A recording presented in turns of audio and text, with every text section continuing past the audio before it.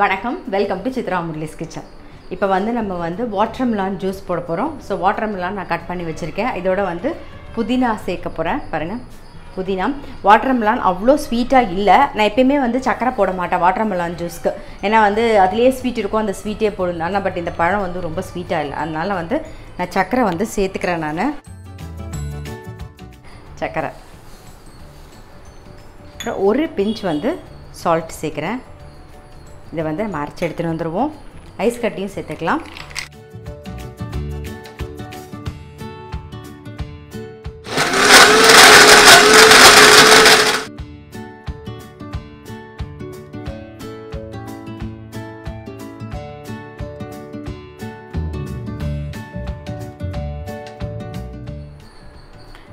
இப்போ ஜூஸில் வந்து நம்ம வந்து வடிகட்டியாச்சு வாட்டர் மெலான் ஜூஸை கொஞ்சமாக வந்து ஒரு ஆஃப் மூ லெமன் புரிஞ்சுக்கலாம்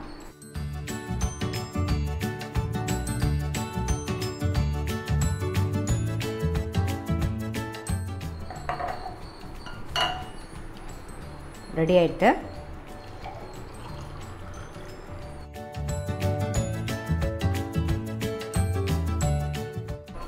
உங்களுடைய வாட்டர் மெலான் ஜூஸும் ரெடி ஆகிடுது நான் வந்து நீங்கள் நிறைய பேர் கேட்டிருந்தீங்க வந்து ப்ளவுஸு அப்புறம் சுடிதார்லாம் எங்கே தைக்கிறேன் அப்படின்னு சொல்லிட்டு. ஸோ எங்களோட டெய்லரை வந்து வர சொல்லியிருக்கேன். இப்போ வருவார். வந்தார்னா நான் வந்து அவரை இன்ட்ரடியூஸ் பண்ணிடுவேன் உங்களுக்கு.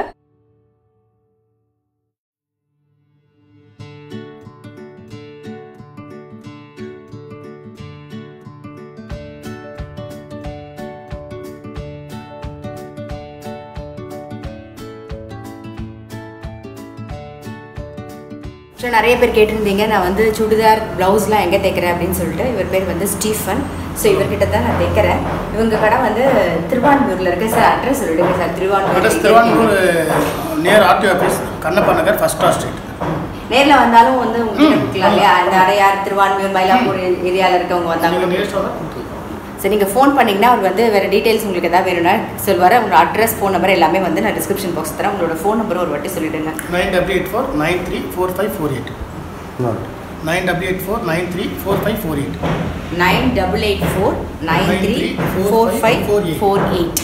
So நான் வந்து டிஸ்கிரிப்ஷன் பாக்ஸில் நம்பர் நான் தரேன். ஸோ நான் நல்ல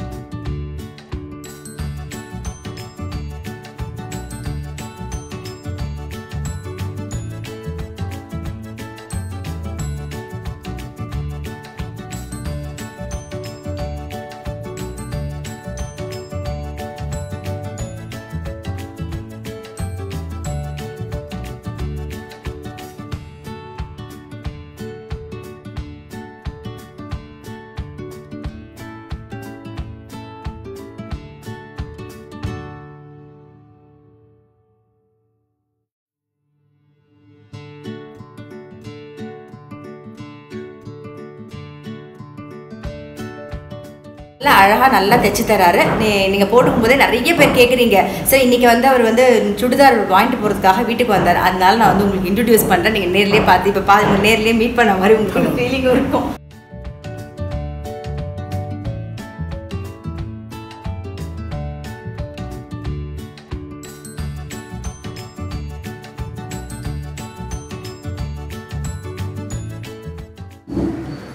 ஸ்நாக்ஸ்க்கு வந்து கார்ன் வேக வச்சுட்டு அதை வந்து புரிச்சிட்டு அதுக்கப்புறமா வந்து பெப்பர் போட்டு கொஞ்சம் வெண்ணையும் பெப்பரும் போட போகிறேன் மிளகும்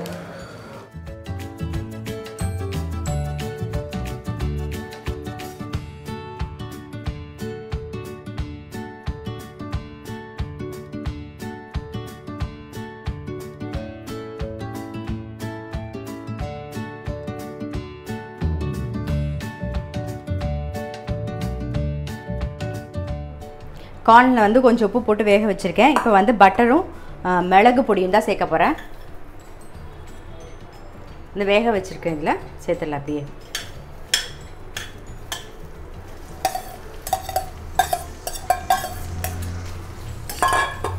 பெப்பர் பொடி உங்களுக்கு எந்த மாதிரி வேணுமோ டேஸ்ட்டு காரம் அது தகுந்த மாதிரி பார்த்து போட்டுக்கோங்க.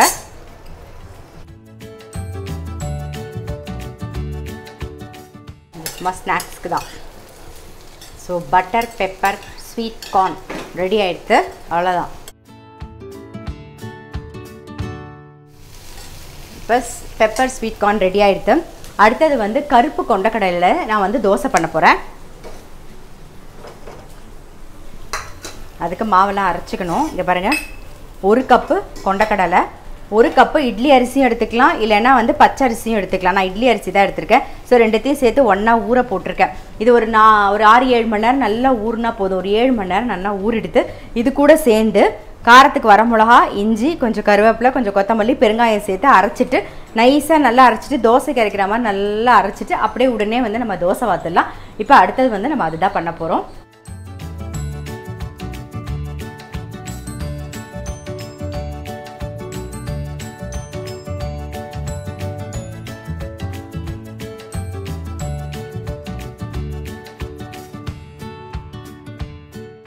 நைட்டுக்கு வந்து கொண்டக்கடலை தோசை தான் சொன்னேன் இல்லையா? ஸோ இப்போ வந்து நம்ம அரைச்சிக்கலாம். இஞ்சி வரமிளகா ஒரு நாலு வரமிளகா நான் போடுறேன். ஸோ நீங்கள் வந்து காரம் வந்து உங்களுக்கு பார்த்து போட்டுக்கோங்க. கொஞ்சம் கருவேப்பிலை கொஞ்சம் கொத்தமல்லி. அப்புறம் ஊற வச்சுருக்க கொண்டக்கடலை அப்புறம் இட்லி அரிசி எடுத்து சேர்த்து அரைச்சிக்கலாம். அரைச்சி எடுத்துன்னு வந்துடுவோம் நல்லா நைஸாக அரைச்சிக்கணும். ஸோ அரைச்சி எடுத்துன்னு வந்துடலாம். தண்ணி கொஞ்சம் விட்டுக்கலாம். இன்னும் உப்பு சேர்க்கல. உப்பையும் சேர்த்துக்கலாம்.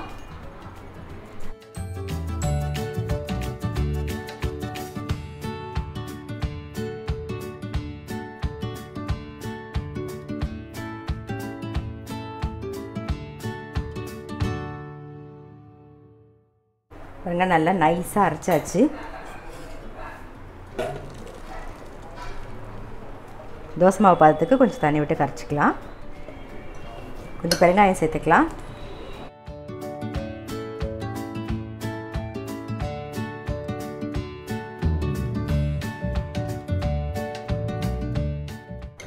கொஞ்சமாக தண்ணி விட்டுக்கலாம்.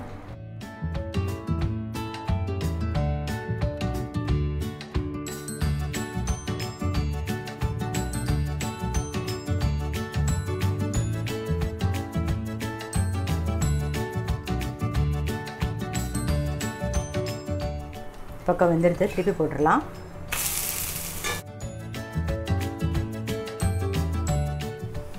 எடுத்துடலாம் இதை. ஸோ கொண்டக்கடலை கருப்பு கொண்டக்கடலையில் தோசை வந்து ரெடி ஆகிடுது ஸோ இதே மாதிரி நம்ம வந்து எல்லா தோசையும் வந்து மாற்றிக்கலாம் இதை வந்து நீங்கள் வந்து வெங்காயம் கூட பொடி பொடியாக கட் பண்ணி போட்டு அதுக்கப்புறமா அடை கொஞ்சம் திக்காக வேணும்னா அடை மாதிரியும் வாக்கலாம். இல்லை கொஞ்சம் தண்ணி விட்டுட்டு தோசை மாதிரியும் வாக்கலாம்.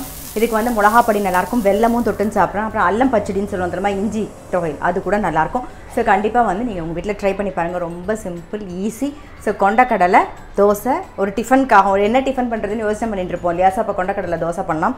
ட்ரை பண்ணி பாருங்கள் ஒரு ஆறு ஏழு மணி நேரம் ஊற வைக்கணும். அவ்வளோதான்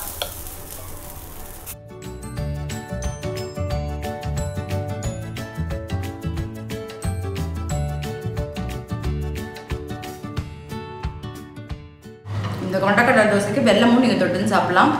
மிளாப்படியும் தொட்டுன்னு சாப்பிட்லாம்.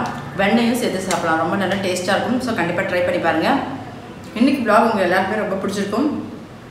நான் வந்து டெய்லரோட அட்ரஸும் ஃபோன் நம்பர் எல்லாமே வந்து டிஸ்கிரிப்ஷன் பாக்ஸில் தரேன். நான் நிறைய பேர் கேட்டிருந்தீங்க. எங்கே வந்து ப்ளவுஸ் தைக்கிறீங்க? எங்கே சுடிதார் தைக்கிறீங்க சார் நான் உங்கள் அட்ரஸ் வந்து நான் வந்து டிஸ்கிரிப்ஷன் பாக்ஸில் உங்களுக்கு கொடுக்குறேன். இந்த ப்ளாக் உங்கள் எல்லாருக்குமே ரொம்ப பிடிச்சிருக்கும். நான் அடுத்த பிளாகில் உங்களை சந்திக்கிறேன்.